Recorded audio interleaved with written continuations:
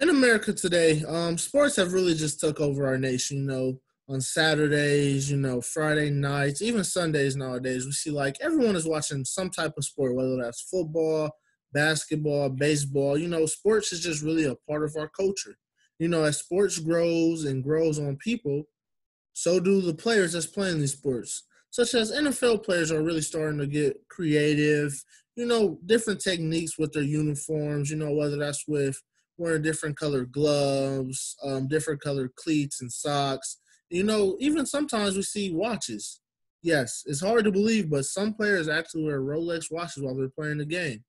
You know, this is first uh, relevant when a college football player did it at Virginia Tech. But now Odell Beckham, who is right here on the right, he actually has been quoted and seen to have on a Rolex watch playing the game. You know, this just really allows players, you know, just to be themselves, you know, just go out there, you know, and just really give that oomph into the world. You know, just show the fans like who they really are as a person. But due to NFL restrictions, NFL players aren't really allowed to have on certain assets, whether that's different color gloves or wristbands, you know, untucked jerseys and things of this nature, because the NFL is very strict on their conduct and the colors and the things that they play that their players wear. So my name is Derrick Harvey Jr. and today I'm just going to be dissecting and just letting you guys know I do not agree with the NFL policy. I really believe that these players should have the right to wear whatever they want to wear, whatever colors they want to wear, and just do what they want to do. Because at the end of the day, these players are individuals. You know, they really just want to be themselves on the field. You know, you guys don't get to see them on the field, so they just want to bring that to the fans. And then also we may have some players who have certain superstitions, so they can only play good if they have a certain sock on or a certain cleat on. And then sometimes we get some players that just say, "Hey, y'all look good, I play good." And so here on the left is Odell Beckham. He has on the Joker. Uh, you know, Joker is really known for his Batman, you know, arch nemesis and things of this nature. And Odell Beckham, as quoted, to be a great Joker fan. He also have has Joker gloves that match the cleats you know, this is just really giving his personality on the field because you know you only see what Odell does on the field as a player, but you don't really see Odell outside of the realm of football. And this is what a lot of players and athletes are trying to do: appeal to their fans outside of football and just give you a glimpse into the life of who they really are as a person. And so this is where the uniform comes in. Because if I see this, I'm thinking, oh, Odell loves Joker. I love Joker. Now me and Odell kind of connect and have this connection not because of I like him as a football player, but because I like him as a person because he likes Joker and I like Joker. Or even if I like Batman, I just know he watches Batman and Joker enough to have these assets on. And this is kind of like making Odell kind of look like a normal human being again. And we're not idolizing him as a player, but as a person because he's a person first before he is an idol. And to the right, we see Jarvis Landry, who has, you know, the basic Halloween style um, cleats, but because they have gold in them, he couldn't wear them. And this just shows, you know, he is a person, so he supports Halloween. Hey, Halloween is a fun holiday. Growing up as a kid, dressing up, getting candy, and this is what he is doing. And based on NFL rules, they are not allowed to wear these. They can only wear these cleats during pregame or practice. Because if they wear them during the game, they will get they will get fined anywhere between five thousand to hundred thousand dollars. Yes, just for wearing a pair of cleats that is not team issued. And other times we see a lot of players may have on, you know, the low um, pants, you know, uh, jerseys untucked, you know, have a shirt hanging out of their jerseys, and they get fined for these things as well. So you're not letting this player be who they are outside of the field. You know, everyone has to look the same like a uniform. And a lot of NFL players don't agree with this because maybe they want to support certain causes, you know, such as Alzheimer's Month or Breast Cancer Month, but due to NFL restrictions, they aren't allowed to do this. Then we get a classic case of where superstition involved. So here we see these is the same face mask, and this is the same person translated from college to the NFL. And this face mask is not very common at all. I think he may have been the first person to have this face mask in the National Football League. And this is just because he feels comfortable playing with that. And, you know, a lot of times players may do this. You know, they may get the same helmet that they had in college in the NFL because this is all they know. You know, it brings them good luck. You know, this is a mental thing at this point.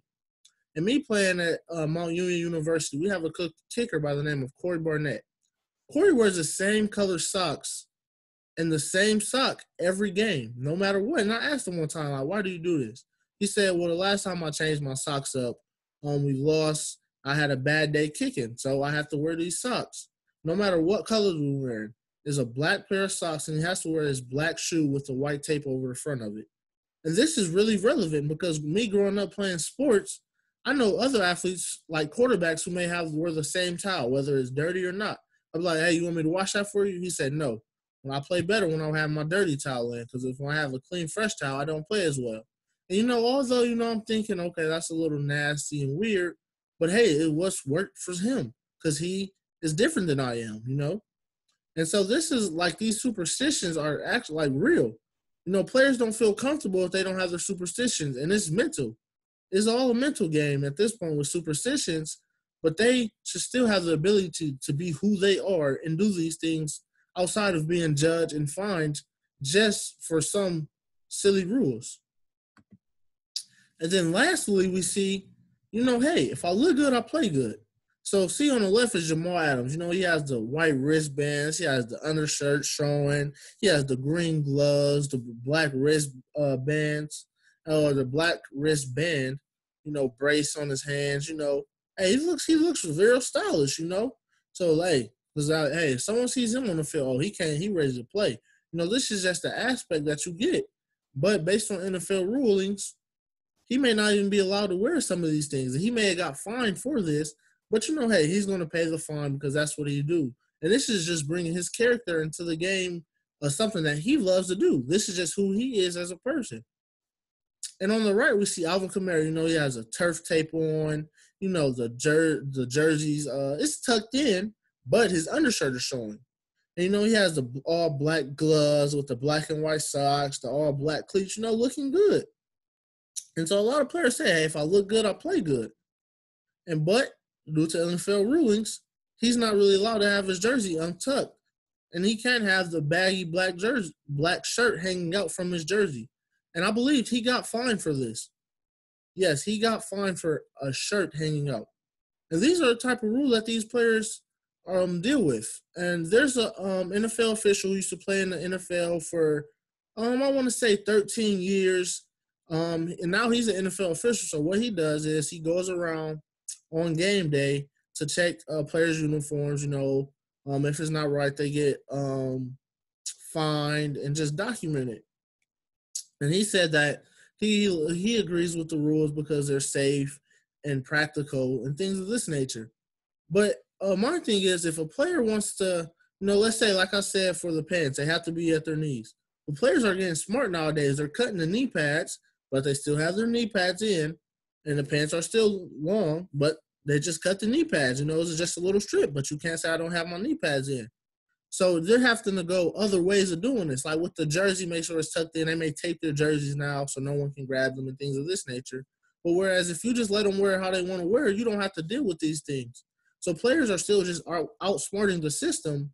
When if you can just let the players be themselves, and if they want to get hurt along the lines of looking cool, then that's on that player because they know the consequences behind it.